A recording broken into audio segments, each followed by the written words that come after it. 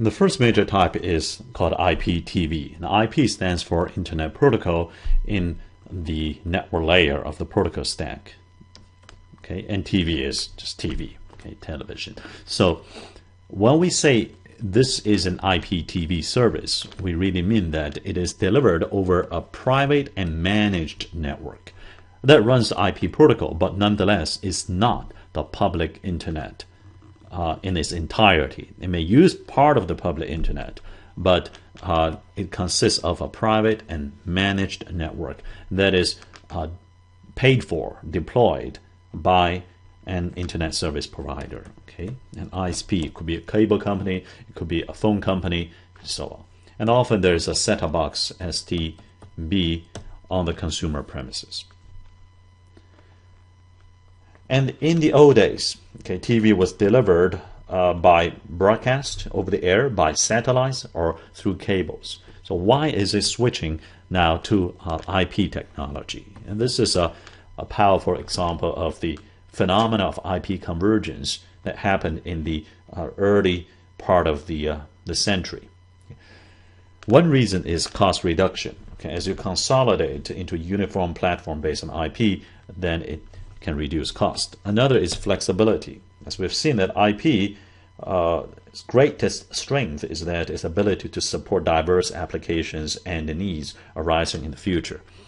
And the third is that the compression technology has gotten better and better over the last 20 years for video, such that at this point the access network capacity uh, can tolerate uh, video, uh, TV distribution now.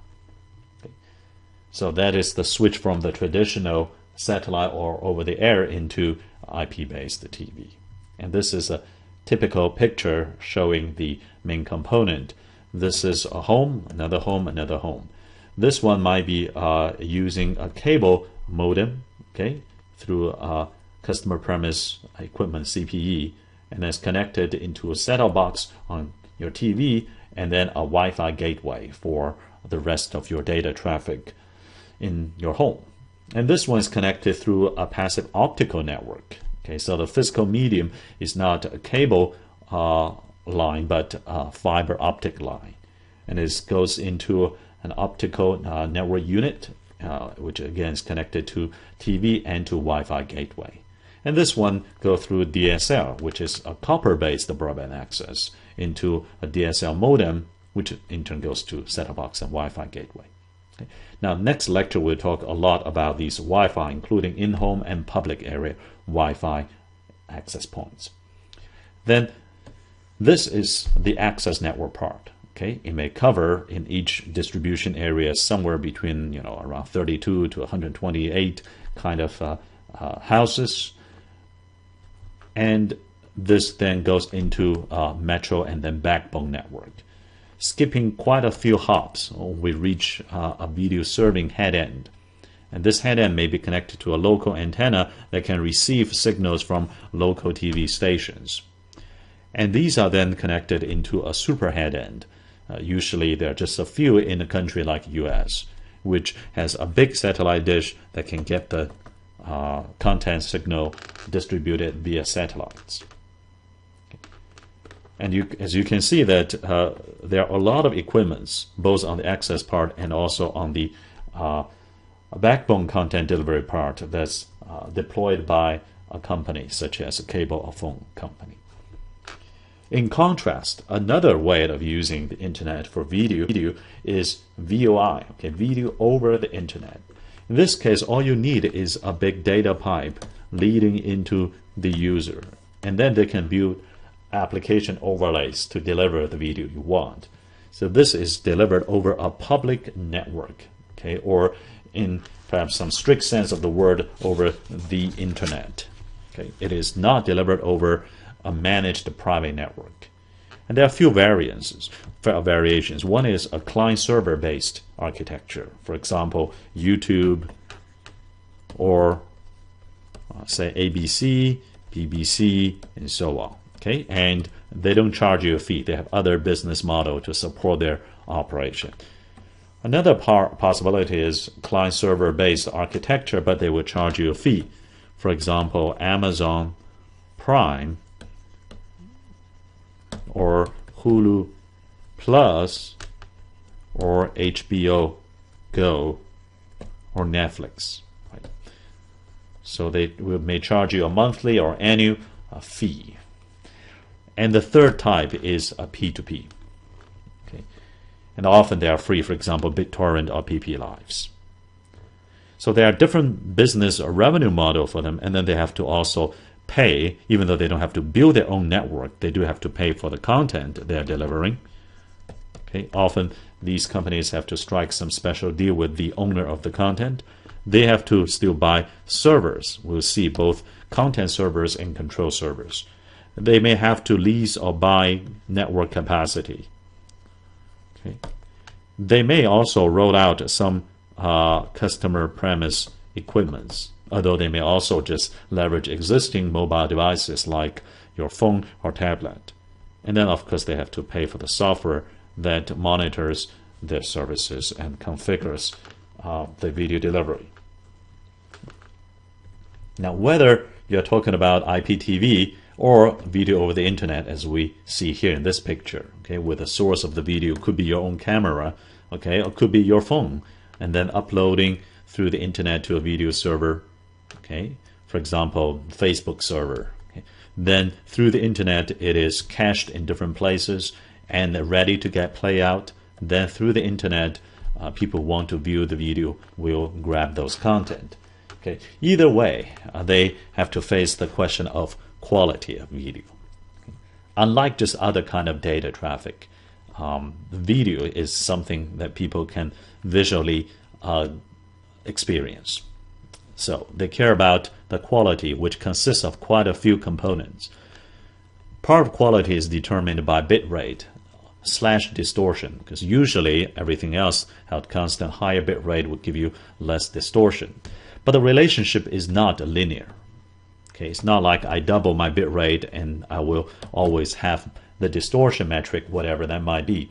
We'll see an example later in this lecture. Okay, it is not a linear relationship. Okay, the kind of relationship it shows up is called the rate distortion curve. And the rate distortion curve, R as a function of D, we will see that in a minute. And the kind of bit rate that's required depends on quite a few things. For example, the amount of motion in the picture. If there's uh, too much uh, motion in a video, it's an action film, then uh, you demand higher quality. If it's a talk show, then uh, a lower bit rate will still give you a similar visual impact. It depends on the screen resolution. Okay, um, if you're upgrading to Retina display, then uh, your eyes will be spoiled and say, "Hey, I can't go back to look at the original screen." Once you're used to HD on your uh, big TV screen, then you can go back. Another key element is the ratio between viewing distance and the screen size. Okay, if you view too closely, uh, A is not good for your eyes, and B is actually uh, going to detect some kind of defect. You see the pixelation and so on, non-uniformity of the colors, uh, but most people don't view it that way. It's not pleasant in any case. So there's a reasonable ratio between these two numbers you uh, would maintain. Another factor is the efficiency of compression. Okay. If you have a more advanced, a smarter, more efficient compression, as we will see in a minute, then uh, you can uh, get a lower bit rate for the same amount of distortion. Or alternatively, use the uh, same bit rate to get much lower distortion. It also depends on the kind of content we're talking about. Okay, for a standard uh, definition, we usually uh, need something like 1 megabit per second, 1 to 2 megabit per second for a reasonable combination of these uh, factors. Okay. And a typical movie would take something like 1 to 2 gigabyte. Now for HD, however, this is SD, HD, we need usually uh, at least 6 to 8 megabit per second. Uh, but if you want a true HD uh, quality, then usually you need something more like 20 to 25 megabit per second. And a typical uh, movie at this bit rate would take something like 5 to 8 gigabyte for HD. And then now people are talking about 3D, uh, holographic, and Ultra HD. So Ultra HD, you pretty much can see the pixelation. And usually you need a factor of 4 above uh, a true HD. So something like 100 megabit per second. Now you may think this is a very big number, 100 times of SD, but of course your viewing experience is much better.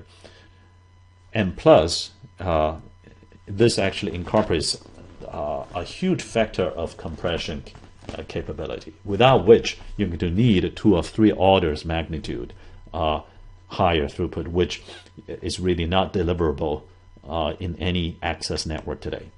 Now, is 100 megabit per second, or maybe let's say 25 megabit per second, deliverable in today's technology of the access network? Well, it depends.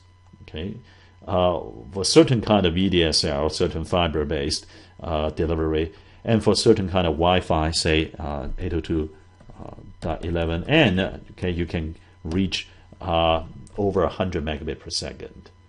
Okay. And for your wireline access, if you want to get to 25 uh, megabit per second, uh, most of the uh, latest broadband technology over uh, different media can manage that. Okay. But if you want to go much higher than this, uh, it's going to be uh, quite a challenge. Now, on your cellular network, we're going to talk about that in lecture 19, the actual application layer speed that you can expect.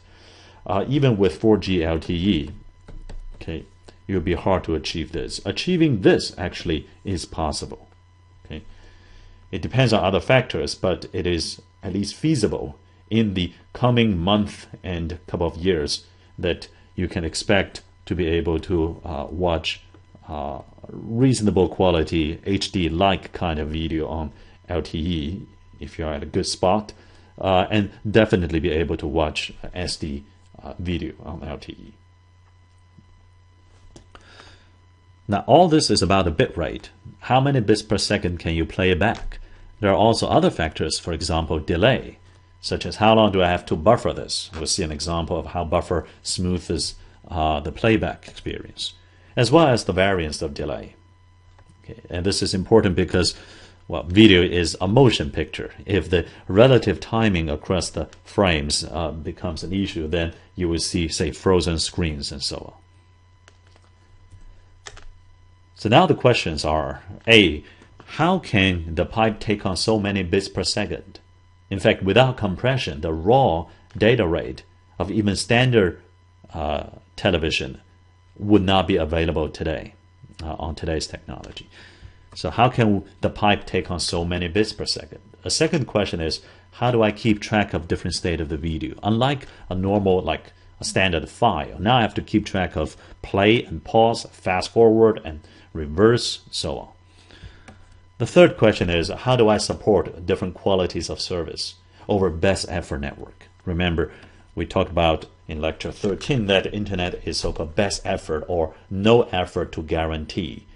So how can it ever support something like video? Isn't that amazing? In the advanced material part of the lecture, we'll talk about this, uh, but in the next two modules, we'll talk about the other two questions.